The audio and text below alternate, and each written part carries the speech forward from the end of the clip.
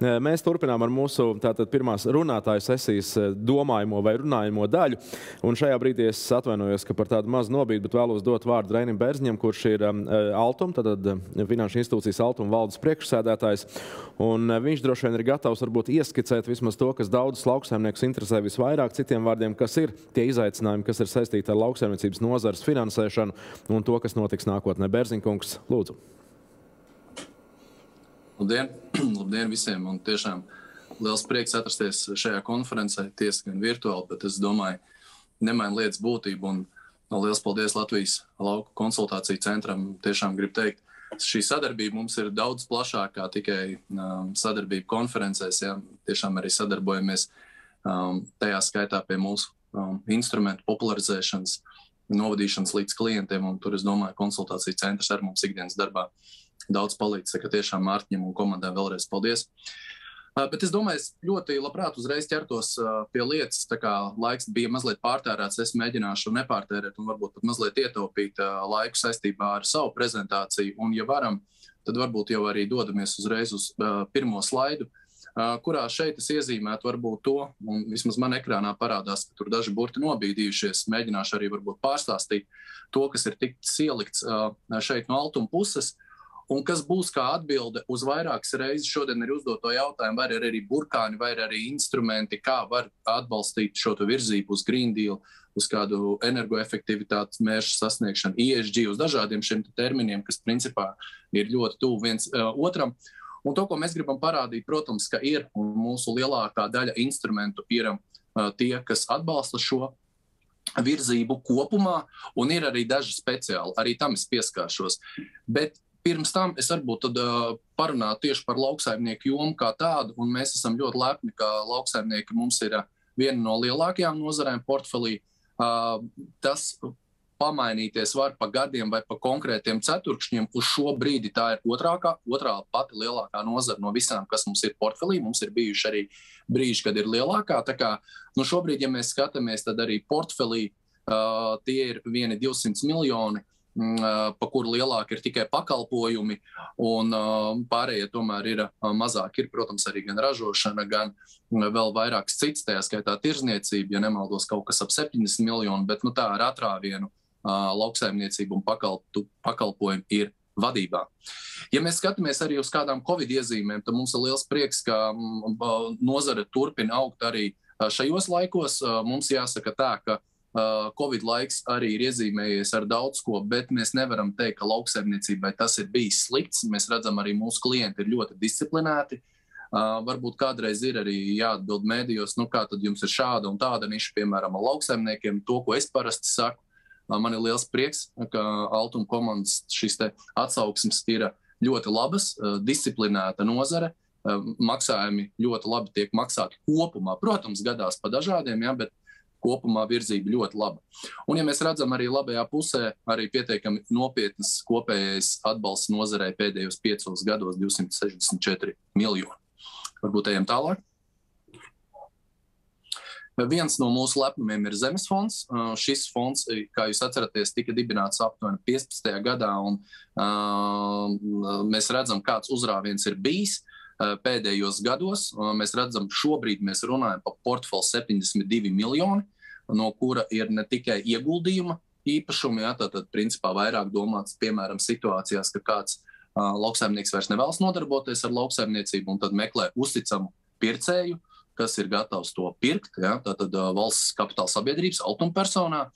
Un ir otrs veids, pilnīgi pretējs, kad drīzāk lauksaimniecībā strādājušais strādā, viņš, viņš ir varbūt arī tiešām ar pietiekami jau lielām saistībām, bet ļoti turpina uh, nu, sasniegt šos mērķus, un varbūt uh, finansējums vienkārši ir pa īsu, ja drīkst tā izteikties. Tad tas, ko mēs darām, mēs varam iegādāties īpašumu un pēc tam dot uzreiz reversējā nomā, un mēs redzam, ka ļoti būtiski ir audzis pēdējos gados arī šis pakalpojums, un mums ir liels prieks par lielo klientu skaitu, kas veido tuvu pusē no visiem zemes fondā esošiem klientiem. Ejam tālāk. Vēl nopietnāka programma par šo mums ir ilgtermiņa finansējums zemes iegādēji kopējais apjoms, kas ir ticis izsniegts, ir 127 miljoni. Ja, tad arī um, finansējums arī pagājušā gada beigās arī tika grozīts arī šis regulējums, ka ir iespējams līdz vienam miljonam. Un jau, ja nemaldos, 16. gada sākumā mēs ieviesām, ka kredīts ir pieejams līdz 30 gadiem un esam aktīvi tur, kur bankas parasti nekreditē. Ja, jo mums um, viens no principiem ir um, nekonkurēt nekādā veidā ar bankām pa klientiem. Pietiekami nopietni apjomi, gan tos, kurus es saucu, gan to, ko jūs redzat šeit, arī ar bumbuļiem atzīmēts, ja, ka vairāk nekā nu, praktiski 50 tūkstoši hektāri Tajā skaitā man ir liels prieks, ka no, no šiem hektāriem mēs arī redzam, ka pietiekami daudz ir gan bioloģiskām lauksaimniecībām, aptuveni 10%, gan arī jaunajiem lauksaimniekiem, pa kuriem mēs tiešām arī piedomājam, tajā skaitā, kā specifiski vērsties, lai attīstītu arī šo nišu. Ejam tālāk. Uh, mums ir daudz citas arī programmas kopumā. Arī Covid laikā uh, programmu skaits ir audzis, un kopā tās ir vairāk nekā 35. Ļoti daudz ir saistīts arī ar lauksaimniekiem, bet es neiešu katru cauri katrai programmai. Tas droši vien būtu mazliet cits formāts, ja, bet mums ir gan apgrozāmi līdzekļi, gan mazie aizdevumi lauku teritorijā, investīcija aizdevumi, kas ir pieejami līdz nepilniem 3 miljoniem. Uh, netiešie instrumenti. Nu, piemēram, netieši instruments ir arī tajā skaitā garantija, ja, kurā izsniedz banka aizdevumu, un mēs tātad izsniedzam garantiju. Mums ir arī speciāls garantijas tieši uh, lauksaimniecībā. Ejam tālāk. Uh, mēs skatāmies joprojām arī, kā vēl šo klāstu papildināt, un uh, mēs skatāmies, ka nākamajā gadā, uh, tajā skaitā ar mūsu um, ļoti labajiem partneriem, Zemkopības ministriju, ir iespējams darbs pie jaunas programmas, Um, mēģināsim to arī izstrādāt pēc iespējas ātrāk un um, arī rast šos risinājumus, lai vēl vairāk mazos, vidējos un jaunos lauksaimniekus atbalstītu. Ja. Um, ir iezīmēta jauna programma, tajā skaitā kapitāla atlaidi, ja, kas principā nu, vienkāršot runājot, nozīmē arī būtisku pamatsummas dzēšanu līdz 50%, maksimāli līdz 40 tūkstošiem. Aizdevums ir kopējs pie, pieejams būt līdz 100 tūkstošiem. Pietiekami nopietni finanšu resursi arī šeit iezīmēti, bet, um, kā jau es minēju, katru programmu mēs līdz pilnīgai detaļai šodien varbūt nepārstāstīsim, tā kā droši varam iet vēl tālāk. Un varbūt pie nākamā slaida es arī šeit uh, liktu varbūt jaunus akcentus arī savās šīs dienas tēzēs un parādot arī to, kas jau mums šobrīd ir ne tikai uh, lauksaimniecībā, kopējās programmas, tad programmas lauksaimniecībai, bet arī kaut kam, kas tiek uh, lietots arī nu, kā elements, kā, ko mēs sakām, kā burkāns energoefektivitātes mērķu sasniegšanai. Un man šobrīd īstenībā arī pēdējā laikā ir diezgan liels prieks par to, ka uh, Tur, kur mēs dzirdam, jā, ka nu, ir uzkritis šis te daudz ir ticis runāts, bet pēdējā laikā tas ir vēl vairāk. Mēs redzam, gan politikas plānošanas dokumenti, gan finansējums tiek piesaistīts zaļai domāšanai. Tad dažs brīdi ir sajūta, ka šur tur ķer un grābi. Mums tas īsti tā nav, jo mums, es tomēr gribētu atgādināt, ka šī domāšana ar zaļo vektoru ir sākusies ātrāk, un tā nebija piespiedu kārtā. Tas bija 2017. gads kad mēs emitējām zaļas obligācijas, kad mēs tirgū piesaistījām uh, lielu interesi, bija gandrīz septiņas reizes lielāka interese par mūsu obligācijām emitētajām. Uh, mēs esam šo programmu pēc tam no šī 17. gada arī iedzīvinājuši, un, ja mēs skatāmies portfelī, šis bija ļoti labs pilotu projekts. Ja mēs panalizējam kādus 60, 70 klientus šajā sfērā, mēs redzam, ka mums ir viss visdažādākās jomas, kam arī ticis paredzēts gan energoefektivitātei, gan atjaunojumai enerģijai, ilgspējīgam transportam, zaļās ēkas, ja, un arī tie brendi uzņēmumi ir labi. Piemēram, ESCO kompānijas, um, kā RCG Lighthouse, ja ir lieli klienti mums energoefektivitātei, kas veic tajā skaitā uh, apgaismojumu nomaiņu uz LED. Um, mums ir AG Powers, uh, arī kompānija, kura tajā skaitā darbojas ar uh, saules paneļiem. Um, mums ir uh, fiksija mašīnas, elektrify automobīļi, ja, kas tiešām nav tik daudz Latvijā šobrīd, bet mums ir jau reāli padarīti darbi. Un, piemēram, ar vienu darījumu mēs palielinājām tajā brīdī elektroautorātu skaitu Latvijā par 13%. Ja? Tā kā šī programma ir laba. Un kāpēc es to minu? minu? Varbūt mēs varam aiziet uz nākamo slaidu, kur tas būs uzskatām redzēts, redzams tieši no tāda mazāka piemēra. Jo, ja es minēju kompānijas RCG Lighthouse, kur ir aizdevums ņemts līdz pat nepilniem 3 miljoniem. Tad šeit apzināti mēs paņemam jomu, kas ir saistīta ar lauksaimniecību, un mēs redzam Latvijas dārziņš, kas ir modernizēts apgaismojuma sistēma, kurā šis aizdevums nav bijis lielākais, 55,000. Ja, nu, nav maziņš, bet nu, tajā skaitā, protams, mēs neteiksim, ka tā mums ir tāda nepaceļamā summa. Um, šis arī ir bijis LED moduļu sistēmas papildināšana siltumnīcās, kā jau minēju. Šis te, uh, LED apgaismojuma virziens mums ir pietiekami populārs šajā programmā, un mēs redzam ļoti būtisku gan ieņēmumu kāpumu, gan ražību, gan ietaupījumu gadā. Un kāpēc es akcentēju tajā skaitā arī šo programmu? Mēs esam priecīgi, ka uh, īpaši uzņēmumiem, kuriem ir jau pietiekami saistības portfelī un kuriem ir nepieciešams varbūt veikt kādu modernizāciju, iespējams, ka tajā skaitā, lai sasniegtu kāds energoefektivitātes rādītājs, viņiem ir pieejama šī programma, kura varbūt nav mazākā ar procentu likmēm, jāsaka, ir atklāti, bet mēs ejam ar uh, samazinātām nodrošinājuma prasībām, un ir iespējams pat kredīts pat bez nodrošinājuma Ja vien spēj parādīt, ka, piemēram, nākamajos 4,5 gados tas ietaupījums, energo, um, energo ietaupījums būs tieši tāds, kāds ir ticis uh, apgalvots um, iesniegumā. Um, ejam tālāk. Un es domāju, jāpaskatās arī par citām lietām, kas ir saistītas ar uh, izaicinājumiem un iespējām uh, kopumā.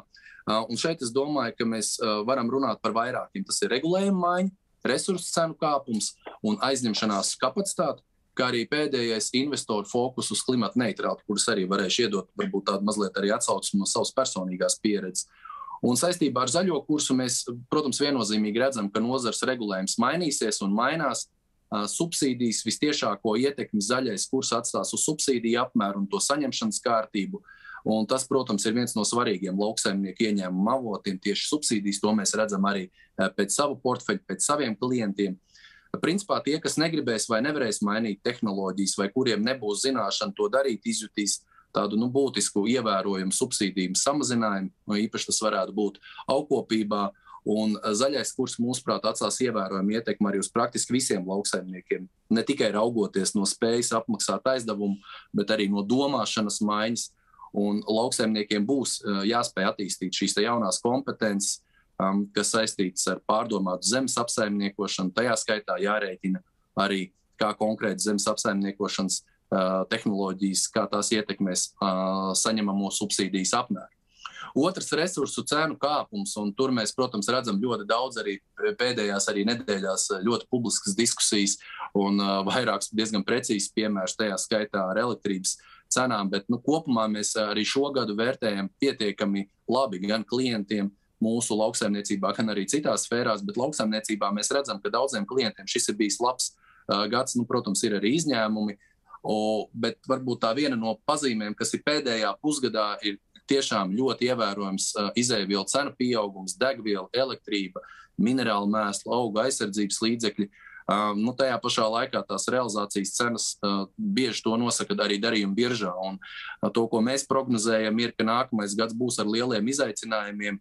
Uh, jo ir svarīgi atrast šo pareizo risinājumu un līdzsvarot uh, ieņēmumus, uh, kurus nosaka pamatā biržas cenas un izdevums, ja, pa kuru uh, lielajām svārstībām un diezgan arī negatīvajām pēdējā pusgadā, es domāju, mēs diezgan daudz varam runāt. Trešais - aizņemšanās kapacitāte. Un, Uh, ir tāds jēdziens, ko mēs arī lietojam uzņēmumā, klienti ar pilnām bilancēm. Nu, tie ir klienti, kas ir sasnieguši maksimālus kreditēšanas apjomus, būtībā spēju apkalpot uzņemtās saistības ir tuvu maksimumam un neļauj vairāk uzņemties jaunas saistības, lai ieviestu, piemēram, zaļo kursu, lai izpildītu šīs prasības. Nu, tas zaļais kurs šādā gadījumā, protams, būs izaicinošs. Uh, lai iegūtu finansējumu jaunām investīcijām, tehnoloģijām. Nu, kā viens no piemēriem, ko es jau minēju, ir arī mūsu energoefektivitātes programma, kurā mēs arī finansējam uh, klientus ar pietiekami pilnām bilancēm. Un ceturtais - investoru fokus uz klienta, eh, klimata neutralitāti. Un, protams, ka investoru acīs lauksaimniecība var spēlēt izšķirošu lomu globālo šo klimata neutralitātes mērķu sasniegšanā, par kuru jau daudz runāja arī iepriekšējie runāš, runātāji. Un, teiksim, lauksaimniecība klimata pārmaiņu mazināšanas jomā atšķirās no citām jomām, jo mēs to varam, vadoties no konteksta, dzirdēt gan kā tādām nozarēm, kas var radīt papildus CO2 izmešus, gan akumulēt. Ne visur tas tā ir. Tā kā, tā kā, man liekas, man, man ļoti patika arī Edvards tēze, ka principā mums ir jānoķer šis momentum un jāmēģina šo situāciju vērst par labu, kaut kā mēģināt izmantot to brīdi, kas šobrīd ir. Nav jēga, varbūt ejam, ja tad arī principā uz pēdējo slaidu Uh, kurš, kurā vairs papildus informācija nav, bet varbūt šeit arī prezentācija beigta ar tiem pēdējiem diviem secinājumiem.